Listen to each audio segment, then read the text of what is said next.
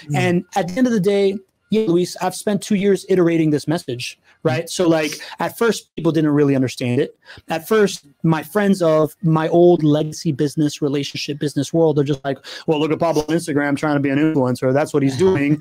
but then, as they start looking at the content, for example, this guy reached out, he's just like, dude, when I first started watching you post content, I'd be like, oh, okay, there's Pablo being funny, cool. And then next time I saw you a little while later, I was like, ah, I started listening a little bit, but I wouldn't click in to watch the rest of the IGTV video. Yeah. And then one time I did, and then now I can't stop doing it, and I need to know what the fuck you're doing, right? Like, like I need to know what you're doing, Yeah, right? And and, yeah. and I broke it down to him like this: when you are in the relationship business world, right?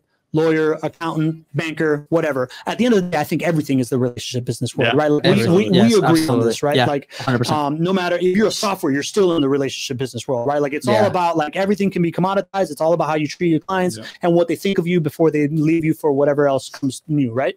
So Yeah. when you were in the relationship business world, what used to be the ultimate sales machine was I'm going to take my client to dinner. Right. And what happens at dinner? You spend an hour with somebody talking about their hopes and dreams and what they're up to and what their family's doing and whatever. And Yeah. then you're like, oh, well, how can I help you out? Blah, blah, blah, blah, blah. Right. Like that is, that was the relationship building tool. Yeah. Uh, still is, right? Golf game. We're just talking about golf, right? Yeah, Like, yeah, yeah. hours with somebody on a golf course. or That's- a, or that's- a poker tournament, or right? a poker Like, tournament. Yeah, we're just at Nathan Just Rough here talking about talking about, it, right?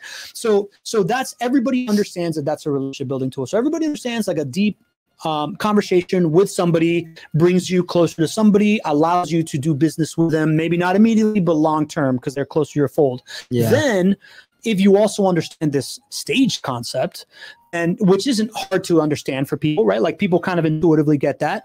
The idea of featuring somebody as a keynote speaker at your event um, is a super value add to somebody, right? Like if you're Yeah. like not o- oh, so so let's take it step one step further. If I introduce you to somebody, that's a value add. Everybody gets that, right? So like so now, if I'm not just introducing you, but I'm also putting you on stage in front of a 100 of clients, that's a huge value add, Yeah. right? So now, if you mix the two of them, right? What if you have this intimate dinner relationship in front of a 100 of your clients? And Mm. oh, by the way, it now lives forever in a way that Jen can consume it right now, Mhm. in the way that Justin can consume it on podcast right now because he's listening right now, or Yeah. in a way that as you're scrolling through Instagram, your old friend that you haven't talked to in three months can be like, oh, here's a three minute little tidbit of Luis. What's he up to? Yeah. And consume it that way, right? So, like, Yeah. when you explain it in the sense of like these are just the same old relationship mechanisms, then the interview is the dinner, the the doing it live in front of an audience or doing it on Facebook or just doing it on a podcast Yeah. is the stage keynote, and then the repurposing of the content that you guys do so freaking well, better than anybody else in the world. Thank you. Thank you. is the automated follow-up mechanism is the how do i introduce you oh i'm just going to forward you this instagram clip of my friend oh i'm just going to forward you this podcast Yeah. it is the enabler of introductions for everybody and the follow-up mechanism if you're doing it consistently and you're just showing up in people's feeds once a day three times a day five times a day whatever right 75 a day. Sh- 75 shout out to, to Holly. yeah, yeah.